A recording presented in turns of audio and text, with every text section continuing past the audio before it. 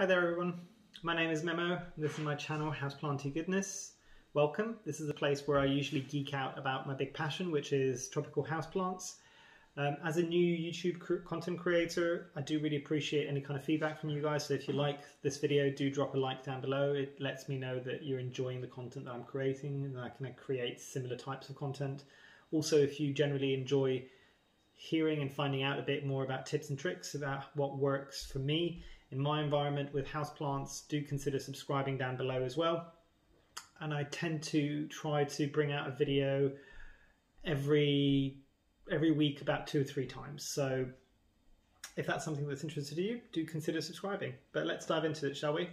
So you might be able to see the plant that I want to talk about next to me. This is none other than the beautiful Monstera adansonii.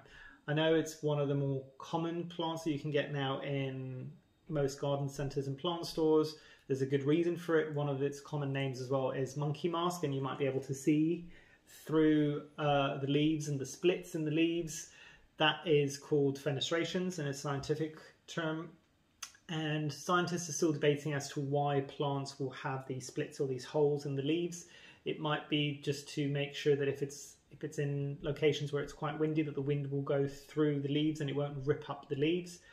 But also, it could be, and this is a predominant kind of theory at the moment, is that as these plants grow and you get leaves that will go over the other leaves, is to make sure that the light will actually filter through the holes down to the other leaves beneath it as well.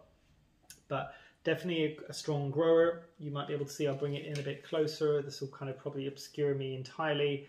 At the moment, I don't have it on a moss pole. I do have it on support sticks and it's working quite nicely. Some of these leaves, and that's the way that you keep the leaves large, is to put it up, give it something to grow up.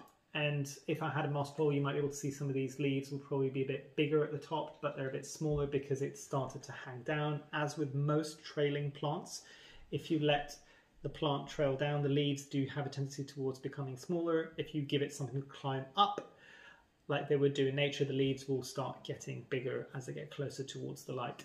So um, overall, a really, really easy plant to care for. I did have a much, much bigger, bushier version than this nearly a year and a half ago. I lost that plant. I didn't know why.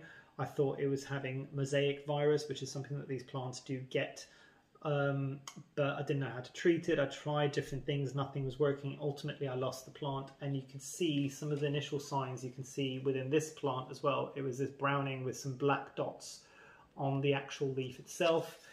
I since discovered that what was causing that within this plant was the larval stages of thrips, which was such deep joy because what I hadn't realized is those thrips had turned into adults and um, spread across a lot of my plants. It took me maybe six months to get rid of the thrip infestation that I had across my other plants. So lessons learned. Um, so this one did have some thrips at the very earlier stages, but I treated it and it's growing really nicely since then.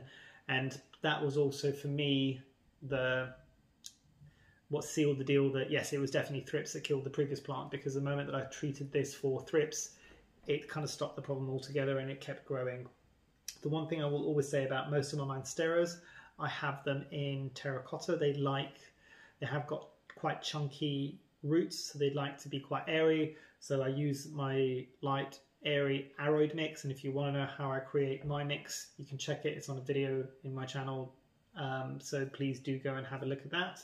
Um, and yeah, I think that's pretty much it. In terms of watering with this, the only other thing I'd say is let the soil or the, the growing media dry out between waterings. This one even more so than most of my other monsteras. If it stays damp for a bit too long, it starts rotting some of the leaves quite quickly. So I will let it dry out fully before I then re-water. And yeah, fertilize every second or every third watering, even within the winter. Works really well for this plant. And in terms of light, it does appreciate bright indirect light, but not too bright. So at this particular moment in time in the UK, I've got it by a south-facing window that's slightly sheltered and it's still pulled back about a meter and a half to two meters and it's doing really, really well. So yes, it could probably appreciate a tiny bit more light, but giving this too much light as well could also delay its growth pattern as well because it's not used to, it is an understory plant, so it's used to getting more dappled light. I think that's everything I wanted to say about this plant. If you've got any questions, comments, I know a lot of you might have this plant. If you've had different experiences, drop it in the comments down below. Let's have that conversation. And yeah, I hope you've enjoyed. I hope you have a great rest of your day, and hopefully, I shall see you here soon. Thanks. Bye.